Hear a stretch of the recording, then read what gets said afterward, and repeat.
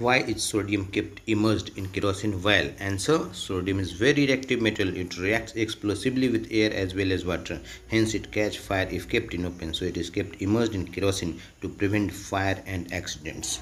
So if you like the video, comment, share and subscribe it. Thank you friends.